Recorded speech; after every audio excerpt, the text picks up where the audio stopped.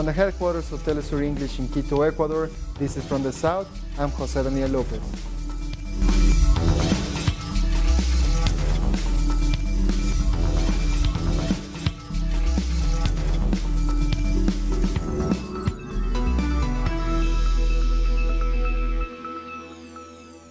Venezuela's President Nicolas Maduro says he is open to dialogue after the attempted coup against his government on Wednesday. Addressing to the Supreme Court, he also announced that the Venezuelan embassy in the U.S. will close, this as a response to the constant attacks on his country by the Trump administration. Maduro spoke at the Supreme Court one day after the president of the opposition-controlled National Assembly, Juan Guaido, proclaimed himself interim president of the country. That two Latin American governments have uh, taken an initiative that I believe must be the road. The dialogue, diplomatic relation. The government of Mexico and the government of Uruguay have proposed to create an international initiative to promote the dialogue of the parties in Venezuela to seek a negotiation, to seek an agreement of national, national peace. I tell the government of Mexico and Uruguay that I agree with this diplomatic agreement for national dialogue in Venezuela. I am ready for dialogue, for understanding, for negotiation, for agreement. And I have decided to return the entire diplomatic and consular personnel and close the embassy and all consulates of the United States. An opposition leader, Juan Guaido, has been accused of violating the constitution by proclaiming himself as Venezuela's new president. Marilyn Garcia has the story. Nosotros estamos en busca de la paz, no en busca de la guerra. Yankee, go home! And the day was just beginning. Y no, y no, y no nos da la gana de ser una colonia norteamericana. The Chavista people's chanting encouraged others to spread peace among sisters and brothers. We, the revolutionaries, do not hate anybody. Our heart and our soul is only full with love and with ideological visions. All we need is a free country, for all of us, because we are all human and we all have the right to live in the same territory. As time passed, the Chavista people filled the streets to defend democracy, to defend their vote, and to protest against foreign interference.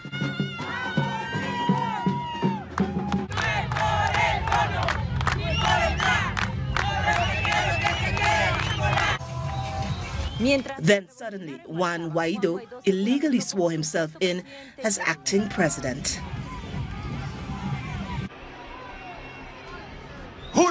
I swear to formally take all the national executive's abilities as the new acting president of Venezuela. Reactions came swiftly afterwards. Nobody voted for this person. Nobody.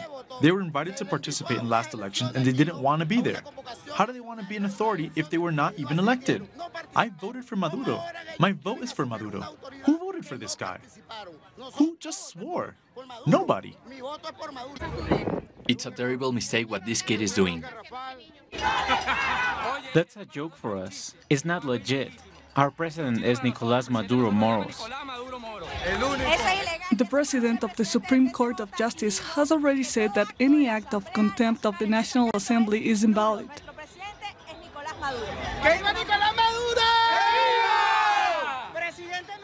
It's not anybody who just wants to be it. It's who earns it, who fights and talks with the people, not a clown that shows his ass and tries to take the piss out of us. The mobilization's final destination was the O'Leary Square, where the president of the National Assembly warned of the ongoing coup d'etat. They have absolutely no shame in violating the Constitution that was approved by our people. They know that they can't do that. They're trying to do whatever they want. We, on the other hand, are committed to defending our Constitution. This chapter of history was barely beginning. The people walked to the president's palace to meet the Venezuelan president, who called the U.S. interference an irresponsible act that only provoked violence between Venezuelan people. As the constitutional president, I announced to all the free nations of the world that I swore to the Venezuelan people that I would respect the independence, the sovereignty, and the peace of this republic. And that's why I decided to break all diplomatic and political ties with the imperialist government of the United States. Get out of Venezuela.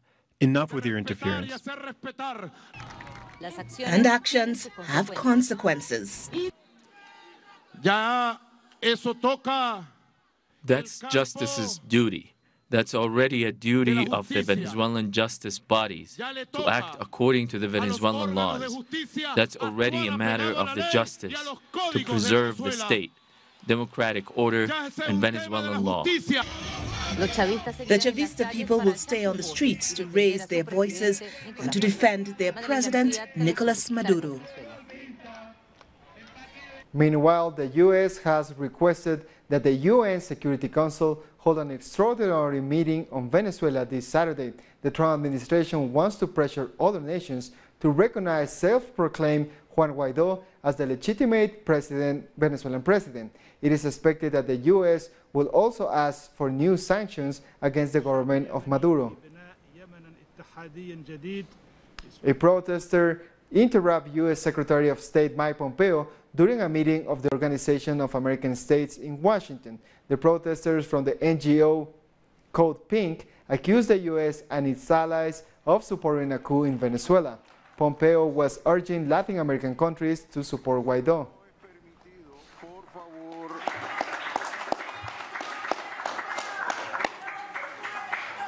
Por favor. The situation in Venezuela has been the main topic of discussion at the OAS. The organization's Secretary General Luis Almagro and other U.S. allies support the opposition. However, some member states continue to recognize Venezuela's government. This session is aimed at interfering in the domestic issues of Venezuela, something that goes against this organization, its nature, and principles. This room has been transformed into a center for conspiracy against the sovereign nations of Latin America and the Caribbean. On Thursday, CARICOM heads of government reaffirmed the bloc's guiding principles of non-interference and non-intervention in the affairs of states. In an official statement, CARICOM countries say that the political crisis, which has been worsened by recent events, can only be resolved peacefully through meaningful dialogue and diplomacy. They also offered to facilitate dialogue. Cuba's foreign minister has called U.S. actions on Venezuela irresponsible and rejected intervention. Bruno Rodriguez sent his support to Venezuelan President Nicolas Maduro and said that U.S. behavior is violating international law. Those actions, Rodriguez said, pose a threat to peace and stability in the entire region and some U.S. lawmakers are breaking their silence on their government's intervention attempts. U.S. Congresswoman Ilhan Omar has said that the United States has backed a coup in the country which will destabilize the region. Congressman Ro Khanna has called U.S. actions as hypocritical, and another U.S. Congresswoman, Tulsi Gabbard, said that the people should decide their own future. And still in the United States, people gathered in front of the Venezuelan consulate in New York to reject intervention attempts by the U.S. government. Chanting and holding banners, supporters of President Nicolas Maduro rallied to show their support and shouted, hands off Venezuela, to U.S. President Donald Trump. When do we want it? Now! What do we want? US When do we want it? Now! What do we want? US When do we want it? Now! A group of Haitians also sent a message and chant for Venezuela and President Nicolas Maduro. ¡Viva Venezuela! ¡Viva Venezuela! ¡Viva ¡Viva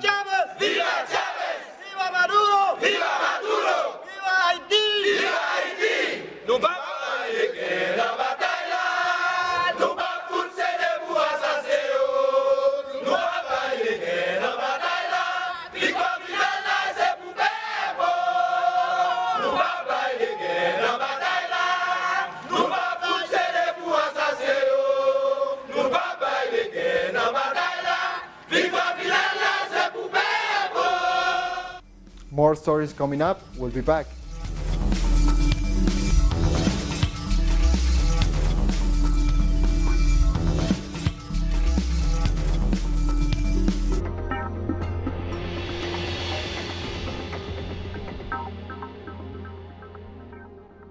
Telesur brings you special interviews with social and political personalities. Monday, from Washington. Tuesday, from Mexico. Wednesday, from Caracas. Thursday, from Quito. Friday, from Havana. Analysis about our continent's reality. Weekdays, only on Telesur.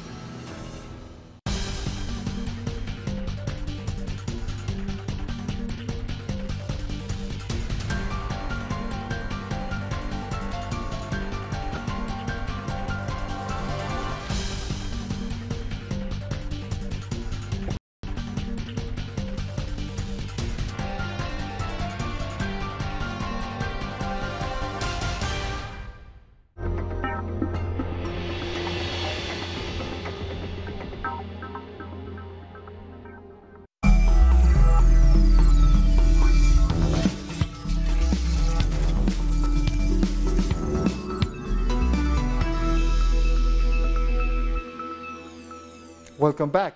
Press TV anchor Marzieh Hashemi issued a message one day after being released from jail. The Iranian-American journalist spent 11 days in jail with no charge. Marsheh says that she condemns the illegal det detentions by the FBI of black Americans and Muslims and say that the issue goes far beyond her case.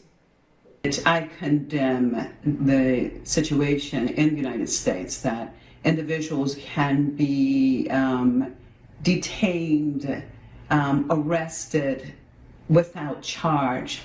Um, uh, I understand that there's a global demonstration that was already scheduled in conjunction with getting me released. My request is that these uh, demonstrations continue, that we definitely have them because it is not about Marzieh Hashemi. It is not about me. It is important to know that this can happen to any person at any time in the United States. These illegal detentions, though they may call it legal. Six days after the Mexican pipeline explosion, the death toll has risen to 100. According to the Mexican Social Security Institute, four wounded people died on early Thursday. The institute said that there are another 11 people who remain hospitalized. The illegal gas pipeline tap exploded in the Mexican state of Hidalgo, killing dozens who were gathering fuel at the moment. Hundreds of Central American migrants have arrived to the Mexican state of Veracruz as they try to reach U.S.-Mexican border.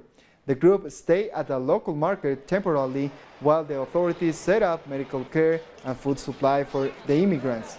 The Mexican Interior Minister said on Wednesday that the country is extending work visas to Central American citizens mainly for Honduras and El Salvador so they can work in Mexico. The goal is to enter the United States, but if that's not possible, then staying on here in a state in Mexico, if asylum is given. We don't want to go back to Honduras. Some of us will stay if we are given asylum.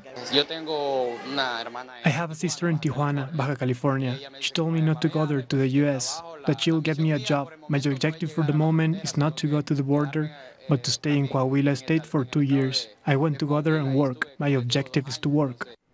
The Brazilian government has announced it won't intervene in the investigation of suspicious transactions involving President Jair Bolsonaro's son, Flavio. The Justice Minister, Sergio Moro, well, said that the probe was in the preliminary stages.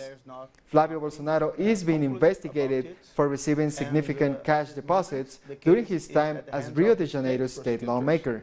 So they are doing their job. One of Brazil's few openly gay congressman has led the country because of mounting death threats against him. Jean Wyllys has also given up his seat in Congress. Willis says he's often targeted by conservative groups on social media for advocating for LGBTI rights. His party colleague Marielle Franco was murdered last year. Ecuadorian lawmakers have voted against the presidential veto to reform uh, the reform of the communication law. the commission analyzing the law decided to ratify their support for the Article 98 of the media law that promotes the audiovisual industry and national production. Outside of the National Assembly, members of the audiovisual industry rejected the presidential veto as they say it harms the local audiovisual production.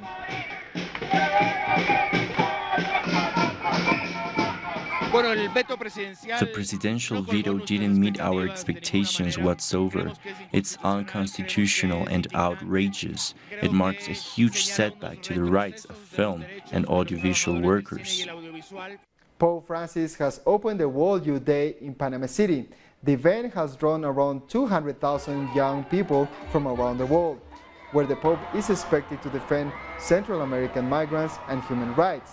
The pontiff will spend five days in the country reaching out the young Catholics.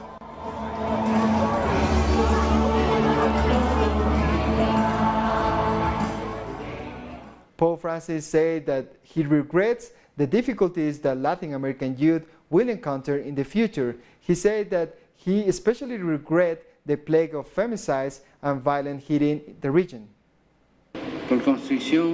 Young people find themselves boxed in and lacking opportunities amid highly conflictual situations with no quick solution. Domestic violence, the killing of women, our continent is experiencing a plague in this regard.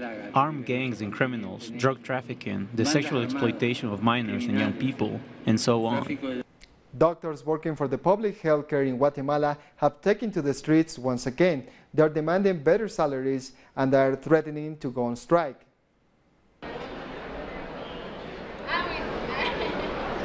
They protested in front of the Congress in the capital of Guatemala. Hundreds of doctors from the public health demanded a salary increase, which was approved in the 2019 state budget. But the government says it won't be able to pay it by the end of January.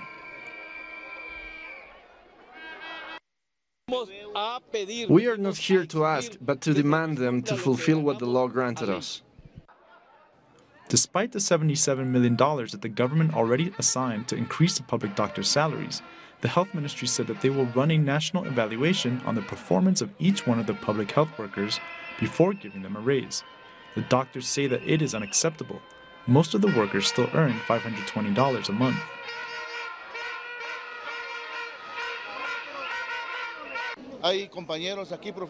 There are colleagues that are professionals in pediatrics, that are chemical biologists, they earn only 4,000 quetzales a month, and that's unfair for a person that studied really hard.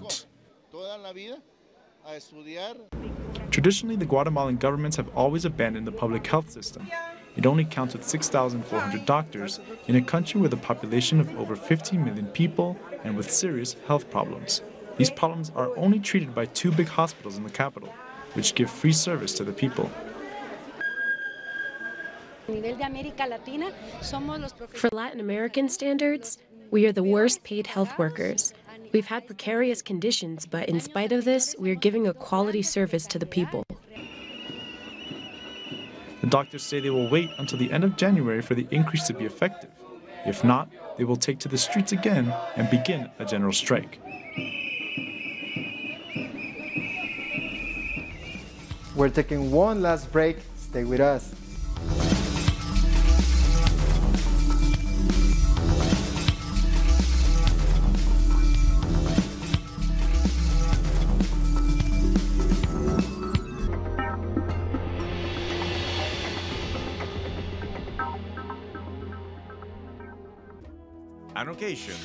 The cultural diversity that defines our South American essence. Come along to find out the story behind these personalities, traditions, and artistic expressions that unite us as a whole. Real Lives, Friday, only on Telesur.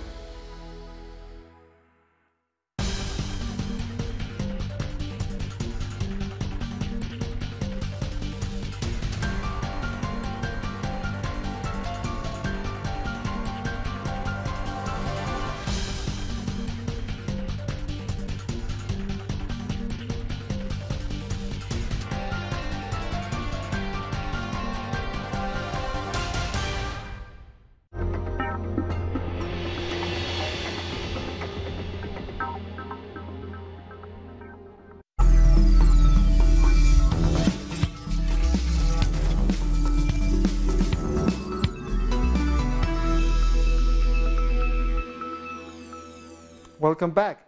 At least 30 people have been killed in the Indonesian island of Sulawesi due to flash floods and landslides. Rescue workers are still working to find dozens who remain missing. More than 3,000 people were evacuated as heavy rains hit the country since last Tuesday. The floods also damaged houses, schools, and bridges. It was indeed started from here, but apparently the river back there suddenly overflew. In just about 10 minutes, the water was already 1.5 meter high, so we couldn't anticipate it at all.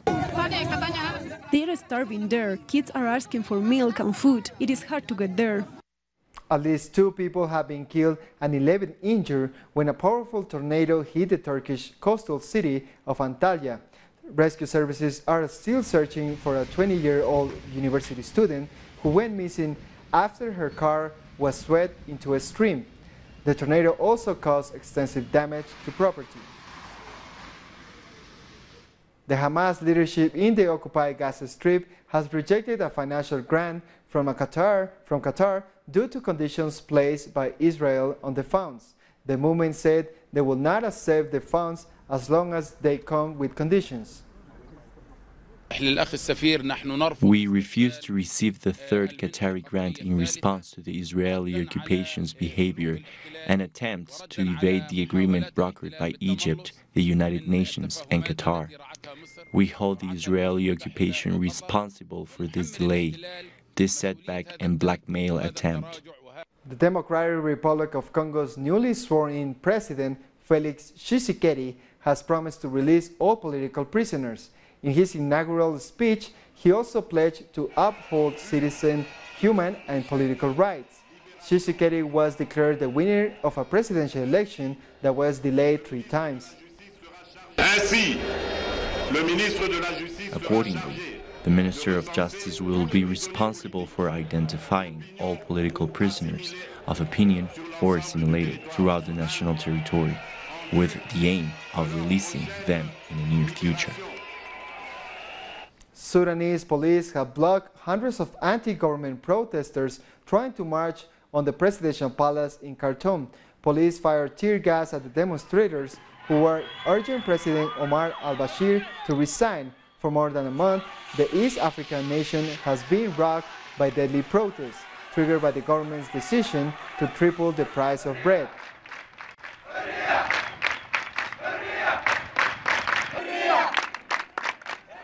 And protests are also hitting Spain. Police have clashed with taxi drivers in the capital as they protest enter its fourth day. The taxi drivers have been demonstrating against what they call an unfair competition with taxi applications such as Uber and Cabify. These apps are not subject to the same regulations and taxes as they do. The protests have also resulted in dozens of people arrested and injured. A scene from a South African soap opera caused a social media firestorm in the country this week. Our correspondent in Pretoria, Matubadache, has the story. This scene unearthed the racial tensions that still exist in South Africa 25 years after the end of apartheid. Some viewers threatened to boycott the TV show because of the interracial love scene. Many social media users rallied behind the couple, rejecting the racist statements made against them. Even some influential people in South Africa's media industry took to social media. Even if we can try and forget uh, the apartheid era, that monster did a huge damage to our society, the damage that will live with us till at the end. Well, unless maybe a miracle happens where the memories of segregation and apartheid is miraculously wiped out of our heads. I'm pretty sad that um, that people have caused such an outrage over an interracial kiss on local television. Um, it just it just shows you the norms and standards that were set in our lives. Um, that and people are so afraid to go outside of their bubble and what they were raised to believe. I think South Africa will always have to deal with race issues until we as a country find a way to engage in dialogue, no matter how difficult or how uncomfortable it is. I I don't believe we've discussed the the most important things. I think we are still very afraid to offend each other. I think the idea of a rainbow nation has superseded um, the need for honest dialogue and conversation. South Africa's population is only about 2% white, but there are still public spaces dominated by them some even designed to exclude black people. And so old understandings of race as biology, the material that was delegitimated in the rest of the world in 1948, which then became law in 1948 in South Africa, that has not been undone. Also societies that are fascist usually have a process afterwards of taking away the fascism. So we've seen this in Germany with the denazification program, we've seen some of it in places like Spain where the fascist regime that ruled under Franco, a lot of that was actively undone by post-1982 governments. In South Africa, that hasn't fully happened. 25 years of democracy is evidently not enough for South Africa to achieve social cohesion. The ongoing racial tensions undermine Nelson Mandela's project for reconciliation. Matuba Mahlachi, Telesur, Pretoria. We come to the end of this news brief. You can find this and many other stories in our website at telesurenglish.net. And don't forget to follow us on social media, Facebook, Twitter, and Instagram. For Telesur English, I'm Jose Daniel Lopez. Thank you for watching.